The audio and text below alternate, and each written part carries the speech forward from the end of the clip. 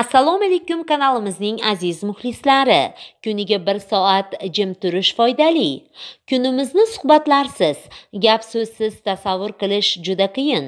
Nutq insonning atrofdagilar bilan muloqotga kirishishi o'z ehtiyojlarini tushuntirishida juda muhim vositadir.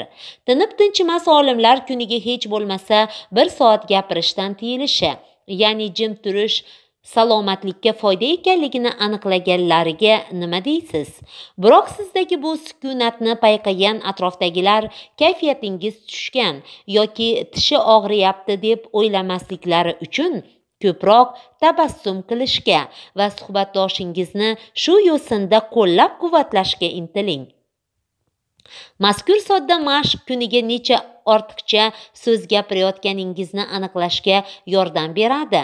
Natijada aqlingiz teranlashib atrofdagi vaziyatga og'ir bosiqlik bilan munosabatda bo'lishni shakllantiradi. Kanalimizga obuna bo'ling layk bosing va kommentariya qoldiring.